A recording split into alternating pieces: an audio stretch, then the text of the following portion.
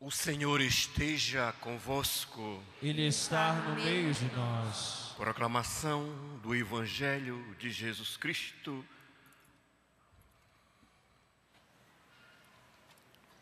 Dos Atos dos Apóstolos. Naqueles dias,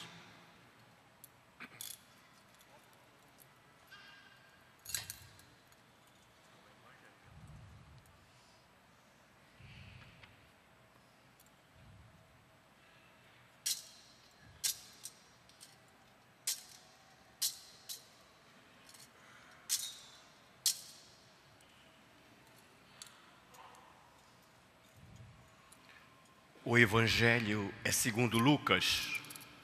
Naquele mesmo dia, o primeiro da semana, dois dos seus discípulos de Jesus iam para um povoado chamado Emaús, distante 11 quilômetros de Jerusalém.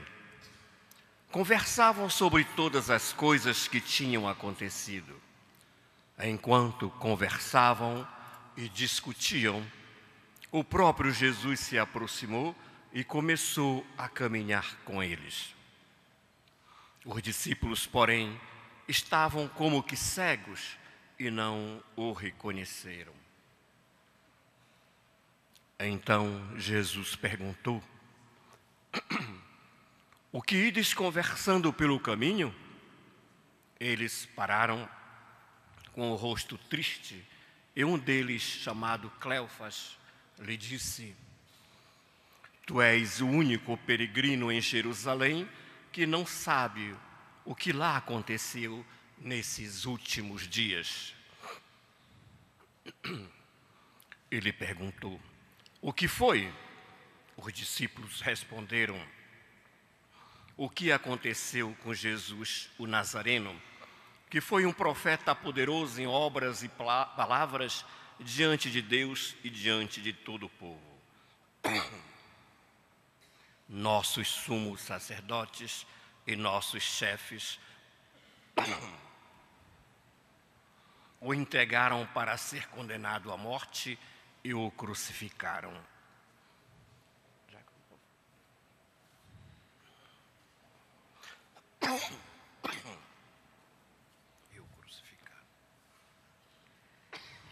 entregaram para ser condenado à morte e o crucificaram.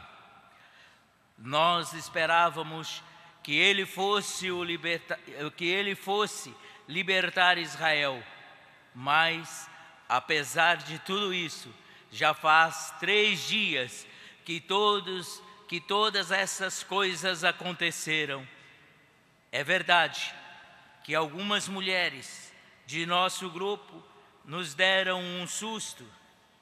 Elas foram de madrugada ao túmulo e não encontraram o corpo dele. Então voltaram, dizendo que tinha visto o anjo e que este afirmaram que Jesus estava vivo. Alguns dos nossos foram ao túmulo e encontraram as coisas como as mulheres tinham dito. A ele, porém, ninguém ouviu. Então Jesus lhe disse: Como sois sem inteligência e lentos para crer em tudo o que os profetas falaram?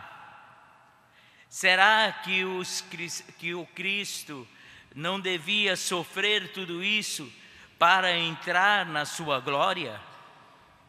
E começando por Moisés e passando pelos profetas, explicava aos discípulos todas as passagens da Escritura que falavam a respeito dele.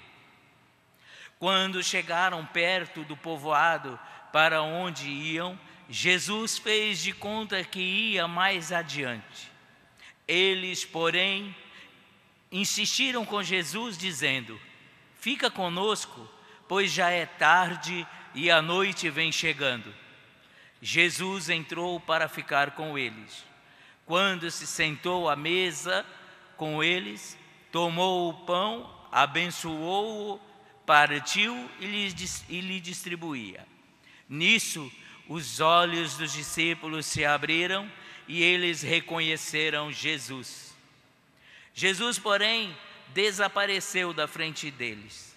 Então, um disse ao outro: Não estava ardendo o nosso coração quando ele nos falava pelo caminho e nos explicava as Escrituras?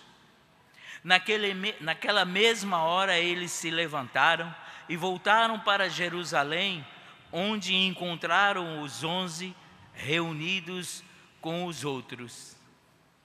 E estes confirmaram: realmente o Senhor ressuscitou e apareceu a Simão. Então os dois contaram o que tinha acontecido no caminho e como tinham reconhecido Jesus ao partir o pão. Palavra da salvação. Glória a vós, Senhor.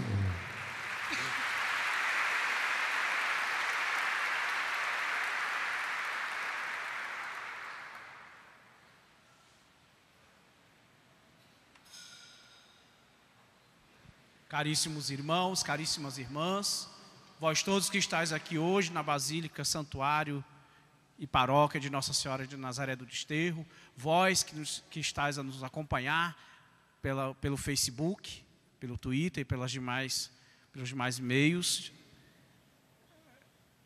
as novas mídias, aonde a juventude se encontra antenada. Vocês estão antenados? Ih, só tem um antenado aqui, ó. Vocês estão na idade da pedra, né? Hoje, quarta-feira, na oitava da Páscoa.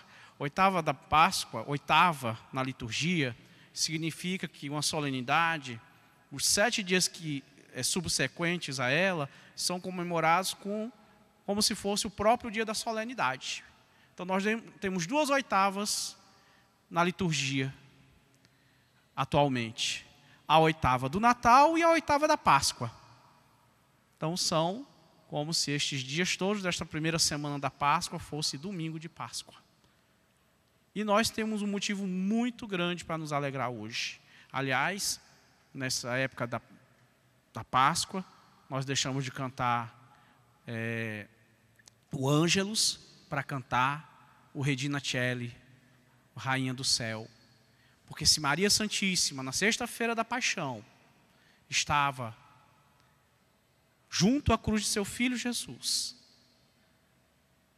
sofrendo com ele, sofrendo por ele, estava ali a Mater Dolorosa, que vai receber o corpo do seu filho sem vida e vai levá-lo até o sepulcro. Mas na vigília, na noite do sábado para o domingo, o Senhor ressuscita, rompe as cadeias da morte, rompe as trevas da morte do pecado. Por isso que nós acendemos no sábado santo, no sábado de aleluia, o Sírio Pascal. Cristo, a luz de Cristo que rompe as trevas do pecado e da morte. Jesus ressuscitou. Então nós podemos cantar com toda a igreja para Maria Santíssima. Nós podemos dizer para ela: Regina Celi, letare, aleluia, quia meruisti, portare, aleluia, resurrexit, sicut dixit, aleluia. Ora pro nobis Deum, aleluia. Alegrai-vos, rainha do céu, porque aquele que merecestes trazer em vosso ventre, ressuscitou como dissera. Aleluia. Ora por nós a Deus, Aleluia! E este alegre anúncio que nós fazemos a Maria Santíssima, nós fazemos também a todo o mundo. Cristo ressuscitou, como ele mesmo dissera.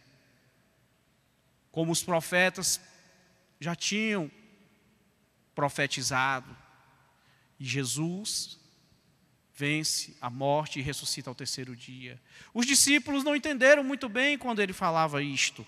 Nós também temos dificuldade de entender. Os nossos condiscípulos do passado tiveram essa dificuldade. E para eles também foi um choque muito grande encontrar Cristo. Aqueles que ele viram, viram ser crucificado, ressuscitado.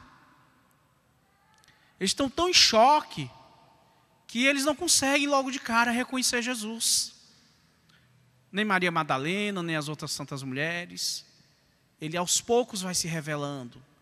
E esses 50 dias da Páscoa, o Senhor passará se revelando como ressuscitado, como aquele que ressuscitou, o mesmo que foi para a cruz. Por isso que nós professamos no credo: creio na ressurreição da carne, na ressurreição da carne.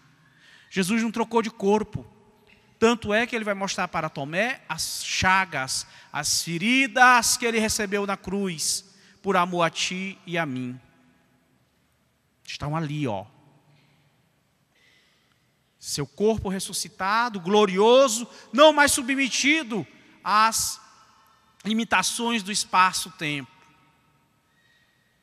Por isso, nós nos alegramos. Por isso, a igreja é apostólica. Por que ela é apostólica? Porque ela é fundada no testemunho dos apóstolos. E o que, é que Pedro nos diz? Que eles ouviram, estiveram com ele, comeram, beberam com ele, estiveram na mesma mesa com ele, com o ressuscitado. E João, evangelista, vai dizer mais: aquele que viu dá testemunho. E o seu testemunho é digno de fé. E é nesse testemunho dos apóstolos, dos nossos condiscípulos, que nós cremos. Nós não estávamos lá, mas eles estavam e vem transmitindo de geração em geração, como nós estamos fazendo hoje com estas crianças que estão aqui nós estamos anunciando a ressurreição de Cristo. E Paulo apóstolo vai nos dizer que se Cristo não houvesse ressuscitado, nós cristãos seríamos os homens e as mulheres mais dignos de lástima do mundo. Porque estaríamos crendo numa ilusão. E não é assim. Que o próprio Paulo teve a experiência com o Cristo ressuscitado ressuscitado. O mesmo Cristo que esteve com Pedro, com João, com Tiago. E vai nos dizer os Atos dos Apóstolos que 500 500 irmãos nossos foram testemunhas oculares do Cristo ressuscitado. Viram com os olhos, ó, com os próprios olhos. E esta é a fé da igreja que nós recebemos dos apóstolos e professamos com alegria. É condição sine qua non para qualquer pessoa ser considerada minimamente cristã, ela tem que crer na ressurreição de nosso Senhor Jesus Cristo. E nós ouvimos no Evangelho o testemunho dos discípulos de Emaus. Palavrinha difícil de dizer, né? É um E fechado, viu? Pode colocar um chapéuzinho nele. Emaus. Estes discípulos, minha gente, saíram de Jerusalém acabrunhados, porque eles viram o seu amado mestre passar por tudo aquilo e ser crucificado. Eles ainda não tinham entendido que Jesus tinha que passar pela cruz e pela morte para ressuscitar ao terceiro dia.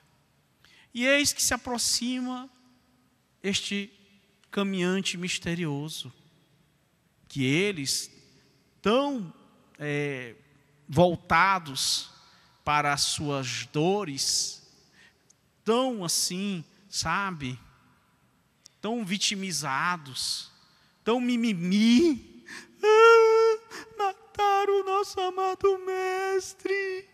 Nós esperávamos que ele fosse libertar Israel. Não foi isso.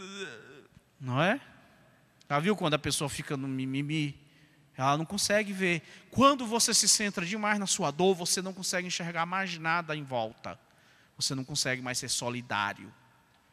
Você fica obtuso, fica com antolhos. Você não consegue enxergar nada além disso. E eles estavam assim. E Jesus pergunta o que acontece. E eles ainda não reconhecem Jesus. E Jesus vai explicando as leituras. E quando eles vai ardendo o coraçãozinho deles de ouvir, de ouvir. E aí eles dizem: Não, fique conosco. Tem até uma música muito bonita que nós cantamos nessa época, não é? Fica conosco, Senhor. É tarde e a noite já vem. Não é? Eles pedem para ele ficar, para cear com ele na hospedaria. E Jesus vai. E ali ele vai abençoar o pão, vai partir o pão. E, e nesse momento, os seus olhos como que se abrem e eles reconhecem Jesus. Jesus ressuscitado. O mesmo que esteve pregado na cruz e que foi descido à sepultura. E quando eles não veem mais Jesus ali, veja, eles estavam numa noite fechada. Não tinha iluminação elétrica. Não tinha iluminação a gás, tinha luz. E eles que tinham se recolhido para passar a noite, vão voltar para Jerusalém às carreiras. As carreiras, porque eles estão com o coração ardente de alegria, porque eles têm uma boa nova para contar aos outros discípulos, para contar para contar para Pedro, para Tiago e para João e para os demais. Nós vimos o Senhor. Então, meus irmãos, a fé da igreja no Cristo crucificado, o ressuscitado vivo. E se vocês prestaram bem atenção nessa leitura do Evangelho de hoje, Jesus fez a liturgia, a liturgia da missa. Nós temos duas partes na liturgia da missa: a antimissa ou liturgia da palavra, e a missa propriamente dita, que é a liturgia eucarística a liturgia da Eucaristia. Ele revela as Escrituras e parte o pão para nós. Você está vendo porque é importante a missa ao domingo? Por que, que é importante a missa domingo? Porque a missa ao domingo, minha gente, é o nosso encontro com Jesus, que na pessoa do Padre vai explicar as Escrituras, revelar as Escrituras e partir o pão. Pão que é o próprio Cristo Jesus, a Eucaristia. Que nós, a cada quarta-feira do ano, estamos aqui, praticamente quase todas as quartas-feiras, adorando. Adorando Jesus na hóstia santa, onde Ele está, como nos ensina a igreja, há 2018 anos todo inteiro, humanidade e divindade, corpo e alma. Aquele mesmo corpo que, por vontade do Pai, foi gerado pelo Espírito Santo no seio da Virgem toda santa e pura. É este corpo que, pela graça do sacramento do batismo e do sacramento da ordem, nós, sacerdotes, apesar da nossa indignidade, consagramos o pão e o vinho, que a partir daquele momento, pelo poder que nosso Senhor Jesus Cristo deu aos apóstolos e aos sucessores destes, os bispos e seus auxiliares, nós, os padres, se torna corpo e sangue de Jesus Cristo. E ali ele se dá para mim, para você, como em alimento, como alimento, como alimento. O próprio Jesus diz: Quem come da minha carne e bebe do meu sangue, está em mim e eu permaneço nele. Então é a Eucaristia que Santo Antônio Maria Zacaria, fundador dos Padres Barnabitas, chamava justamente de o crucificado vivo que daqui a pouco nós vamos adorar quando for exposto. E Jesus é tão bom, tão bom, tão bom, que mesmo que eu tenha levantado a barreira do pecado entre nós, entre eu e ele, não podendo recebê-lo, é, o pecado nos impede de receber Cristo, por isso que nós temos que confessar. Ele vem até nós na comunhão espiritual. Então, hoje, se você está com algum problema na sua vida que está te impedindo de receber Jesus na hóstia santa, quando nós passarmos com Ele em procissão no meio de vocês, você que está que não, não fez uma, que está em pecado mortal, pecado grave, que não confessou, que faz anos e anos, não tem pecado mortal, mas juntou tanto pecado leve. Né? Santo Agostinho diz que o pecado leve é uma gota d'água, mas que o oceano é feito de gotas d'água. Então você encheu aí uma piscina de pecado, não foi? Pecadinhos então você precisa procurar o confessionário para desaguar esses pecados. Mas enquanto você não resolve a sua vida com seu confessor ou com seu diretor espiritual, ou ainda no tribunal eclesiástico, o Senhor vem até você na comunhão espiritual. Então aproveite quando o Senhor estiver passando no nosso meio e faça a comunhão espiritual. Porque Ele fez tudo isso seu nascimento, sua vida, sua paixão, sua crucifixão, sua morte, sua sepultura, sua ressurreição, e ainda nos dá a Eucaristia, nos deu a sua mãe para ser nossa mãe, nos deu tudo, tudo por mim e por você, por amor a mim e a você. Nós podemos tomar para nós hoje as palavras de Santa Teresa d'Ávila que dizia: Eu não sou nada, Jesus, mas morreste na cruz por mim. Vamos nos apossar dessas palavras de Teresa d'Ávila, de Santa Teresa d'Ávila? Fique de pé. Põe a mão no seu coração. Põe a mão esquerda no seu coração e estenda a direita para o sacrário. Vamos repetir juntos. Senhor, Senhor Jesus Cristo, Filho de Deus e da Virgem Maria, eu não sou nada, nada, nada, mas morreste na cruz, por amor a mim. Louvado seja nosso Senhor Jesus Cristo.